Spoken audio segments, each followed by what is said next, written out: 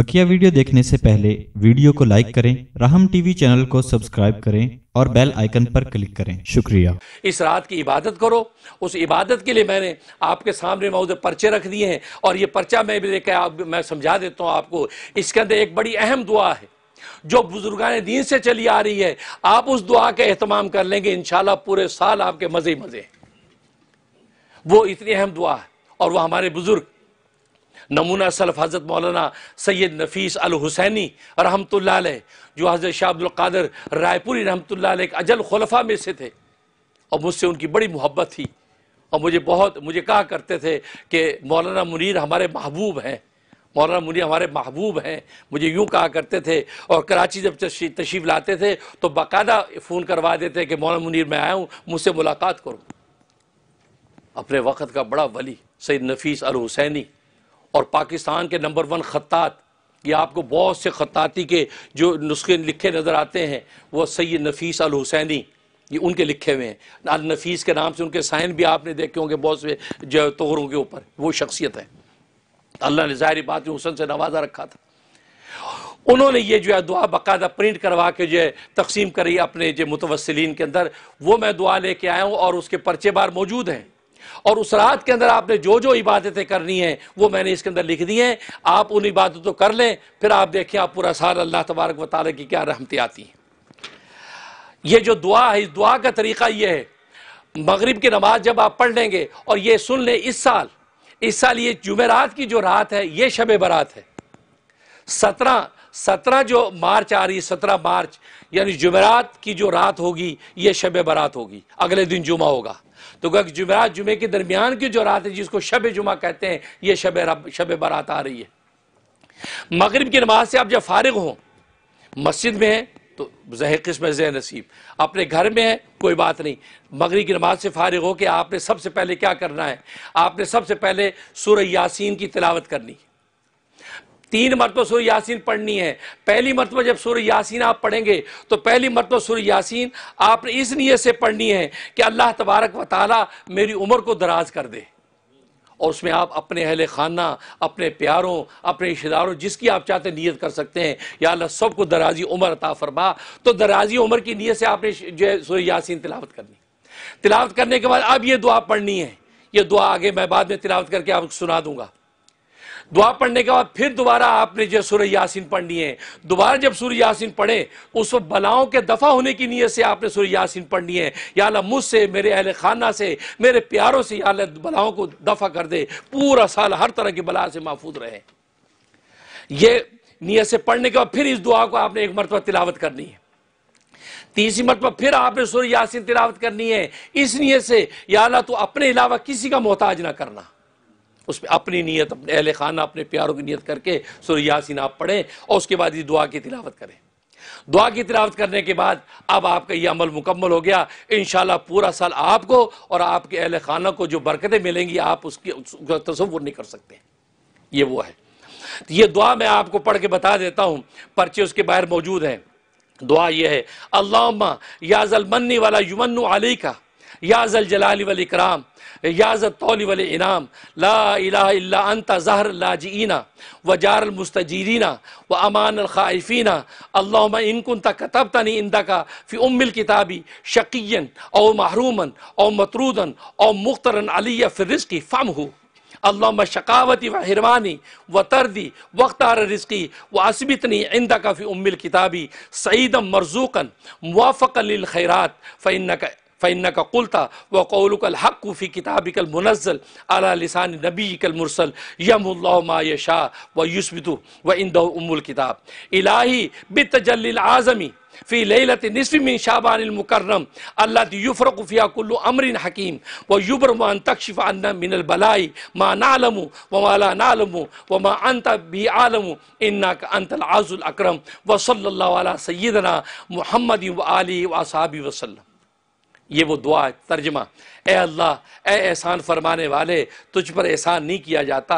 ए इज़्ज़त बुज़ुर्गी वाले, ए कुदरत इनाम वाले, तेरे सिवा कोई मबूद नहीं। तो पनाह लेने वालों और अमान तलब करने वालों और डरे हुओं की पनाह है। ए अल्लाह, अगर तूने अपनी किताब तकदीर में मेरा बद बद, मेरा बदबख्त होना, या नामराद होना, या मरदूद होना, या मेरे रिजक का तंग होना लिखा है तो ए अल्लाह, अपने फजल से मेरी बदबख्ती मेरी महरूमी, मेरी नामुरादी, मेरे रिजक की तंगी के फैसले को मिटा दे।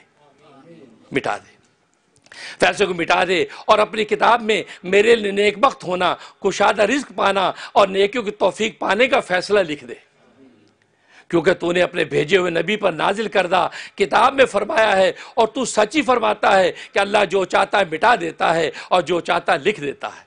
तो जब मिटा सकता तो मिटा दे या अल्लाह। और इसी के पास किताब तकदीर है। ए अल्लाह, तुझसे इस तजली आज़म के वास्ते से सवाल कर तो जो तजली उतरती है इस रात पे। जो शाबान की पंद्रहवीं रात में जिसमें हर हमत वाले मामले का फैसला किया जाता है वह तजली नाजिल होती है। उसके वास्ते से मैं तुझसे, हमसे हर मुसीबत को दूर कर दे। जो हम जानते हैं और जो हम नहीं जानते हैं और जिसको तू ज़्यादा जानता है, बेशक तू इज़्ज़त बुजुर्गी वाला है और दरुद सलाम हो। हमारे आका मोहम्मद मुस्तफ़ा अलैहि वसल्लम पर और आप अलैहि वसल्लम के आल औलाद पर और आपके असहाब पर। ये उसका तर्जमा। यह आप पढ़ें। करने के बाद फिर उसके बाद सूरत दुखान की तिलावत करें।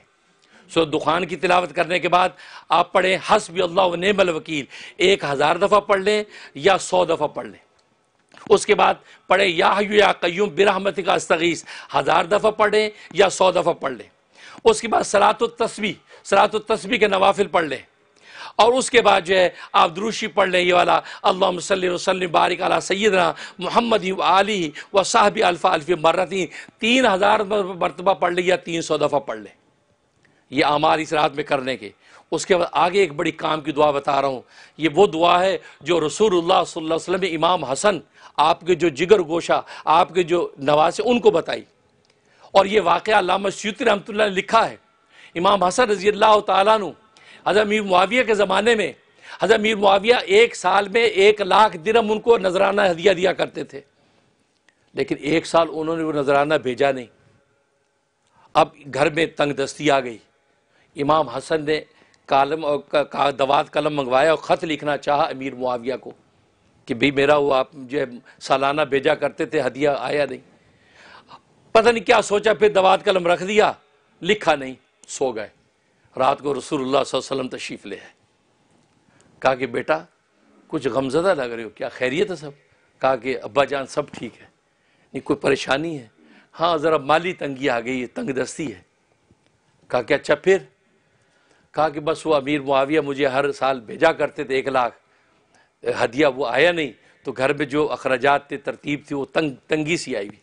फरमाया कि किसी से मांगने की ज़रूरत नहीं, तुम ये दुआ पढ़ो, अल्लाह तबारक वाली मदद करेंगे। वो दुआ आपको मैं बता रहा हूँ। ये दुआ इमाम हसन फरमाते में ये दुआ पढ़ना शुरू की। अभी एक हफ़्ता नहीं गुजरा था, अमीर मुआविया रज़ी अल्लाह तु ने पाँच लाख का हदिया भेज दिया। पाँच लाख दिरम का हदिया आ गया। उस रात मैंने वसूल किया, खुश हुआ, जब सोया रसूल ख्वाब में आ गए।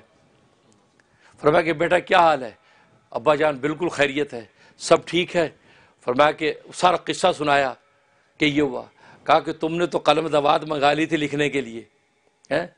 और तुम्हें देखो, एक लाख की जगह पाँच लाख आया। और आगे क्या पते की बात फरमाई?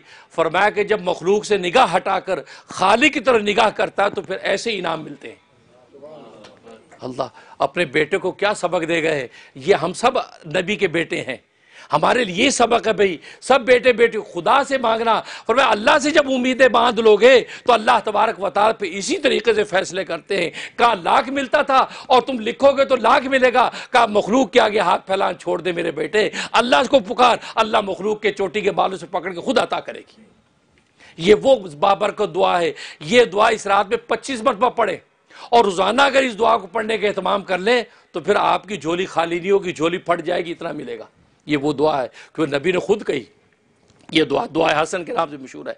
फरमाया, अल्लाह मकजिफ फ़ी कल्ब रजा का वक्त रजा यमन सिवा का हतला अर्जु आदन गैर का अल्लाह व मा ज़ौफ़त अनु क़ुव्वती, व कसर अनु अमली वलम तन तही रगबती वलम तबलुग मसलती वलम यजर अला लिसानी, मिम्मा आती आदम मिन अव्वलिन वल आखरीन मिन यकीन फ़ुसनी बिही या अरहमर राहिमीन।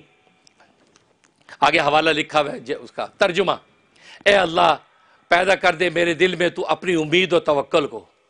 पैदा कर दे मेरे दिल में तो अपनी उम्मीद और तवक्ल को। और काट दे मेरी उम्मीदों और भरोसों को तू अपने गैर से, अपने गैर से मेरी उम्मीदें काट दे।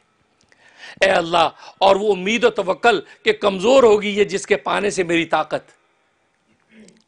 और कम हो गया उसके मुताबिक मेरा अमल। और नहीं पहुँच पाई उस उम्मीद तवक्ल तक मेरी रगबत।